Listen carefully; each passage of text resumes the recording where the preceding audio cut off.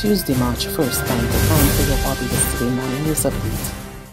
Government is being urged to fast track the reform of state-owned enterprises as its International Monetary Fund backed Barbados Economic Recovery and Transformation Program faces a series of challenges.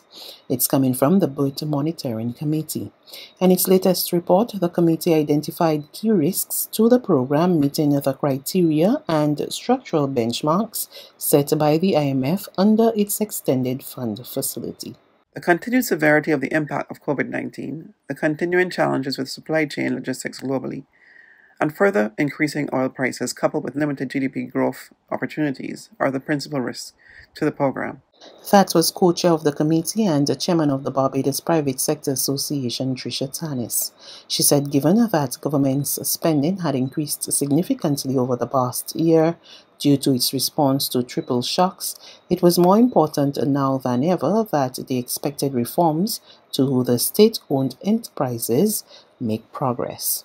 The financial support to SOEs continues to rise steadily, reaching 416 million for the first three fiscal quarters of 2021-2022 versus 366 million and 392 million in the same period for the prior two years. As the IMF have noted in their December 2021 staff report, the majority of state-owned enterprises continue to struggle with structurally weak profitability and high operating costs that give rise to transfer dependence and highlight a need for sustained reform. The BERT Monitoring Committee notes that a financial health dashboard for state-owned enterprises was developed under the EFF to provide the government of Barbados with a mechanism to analyze the performance of priority state-owned enterprises and further elaborates targeted reform measures to reduce government dependence. The Monitoring Committee encourages the government of Barbados to ensure that effective use is made of this tool and reforms of these entities are accelerated as a matter of extreme urgency. Stakeholders react to proposals for revamped Grand Kadooment and Foreday Morning. Over the weekend, Prime Minister Mia Mottley announced that crop over would be staged for the first time since 2019, with Grand Kadooment and Foreday Morning to be decentralized through at least eight venues. President of the Entertainment Association of Barbados, Rudy Maloney, said the suggestion to hold two events at multiple locations was put forward in 2020. It's something that we were asking for for the longest time, so it has not become a, re, uh, a reality. It's, a good, a, a, good, a good start.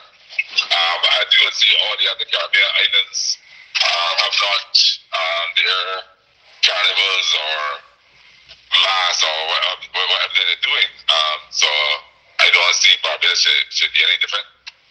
Okay. Actually, I, I, see this as an opportunity to, for Barbados to have the, if not the best, one of the best um, products um, coming out coming out the Caribbean. Meanwhile, veteran band leader Chetwin Stewart believes while the Foreday Morning event could be split up, Grand Kadooment, he said, would be negatively affected by such a move. The air locations got it different locations for Foreday Morning for us to work. For Grand Kadooment, it, it won't work for us, basically, because Grand Kadooment us is exactly what it says. The Grand Kadooment is technical, where all the bands come together. So that at this stage, we do not think that is something we can sell to our revelers because everybody realizes you saying country has what they mean by different locations. Because you when you play a mass, or they may play in different bands, that one's one different but we we somewhere. But if you're going different locations, it's going to disadvantage certain depending on where, what location, and. So for us, you don't do that that, that wouldn't work for our revelers. Our revelers pretty mass. So if you're going to change it to that extent, but then it will make sense for us because we could do a jump in, in anywhere by ourselves. So that is one that we have to sit down and look at. Government's decision to switch to electric buses at the Transport Board has already resulted in millions of dollars of savings. That's according to the Chief Executive Officer of the Transport Board, Fabian Wharton.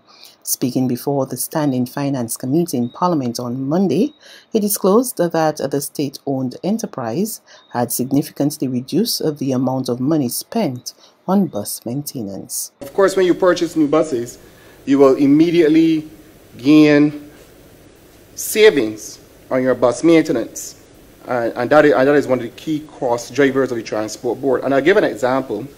Um, in at the end of March 2019, we had $15 million in bus maintenance.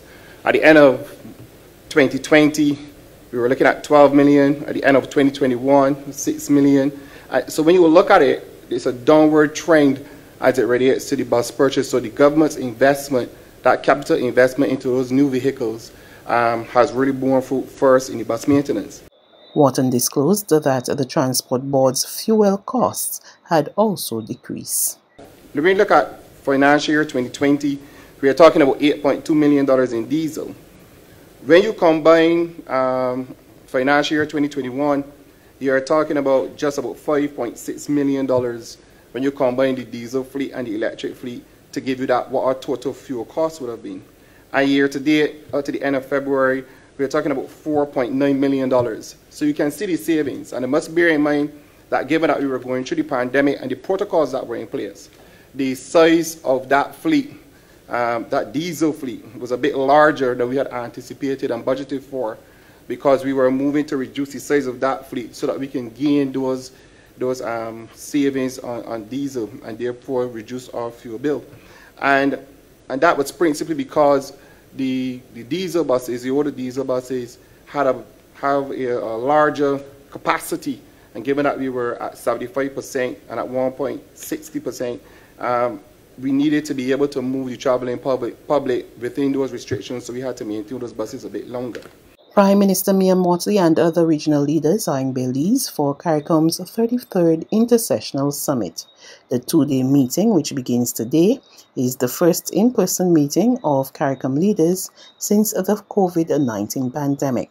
According to CARICOM Secretary General Dr. Carla Barnett, leaders will discuss, among other things, a draft protocol aimed at pushing forward the further implementation of aspects of the CARICOM single market and economy, the situation in Haiti, the impact of the COVID 19 pandemic, and the ongoing situation in Ukraine. Family and friends of Jamal Quinton are trying to come to grips with his sudden death. The Bale St. Michael resident was recorded as the island's fifth road fatality for the year after he was involved in an accident on Sunday. Jamal's sister, who declined to give her name, said she was sad and confused about the developments. All I know is that he went to the motorcycle and uh, on his way back home, he, he died. I don't know. Honestly, I don't know because I hear a lot of stories. I don't know if he hit into a wall or if he get hit from somebody body right off, drive off. I don't know. That's what I'm hearing. So I don't know honestly how he died. Because by the time I get there, everything was done. Because we heard somebody got in the accident and we didn't know who it was. And I was just like, I I felt bad. I was like, let how that person get up this morning and they ain't even went through most of the day and they died already. And when somebody, the same person come, the same person large, he came and told us that my brother died. There's regional and international news after this short break. Hi, my name is Christian Paul. I'm the country manager of BCIC here in Barbados. When the COVID vaccine first came out, I thought it was an interesting and a potentially successful way for us to navigate our way out of the pandemic and a return to some state of normalcy. I took the vaccine because I have a young family. I want to make sure that they are safe and protected. I have friends, extended family, and obviously I work here with colleagues, so I thought it was a good way to protect, to help protect them and to keep them safe, as well as myself. I would encourage others to take the vaccine because I know that you can still transmit the disease even if you're vaccinated, but the chances of being severely ill or worse dying are significantly reduced. Let's roll up our sleeves and get back to living.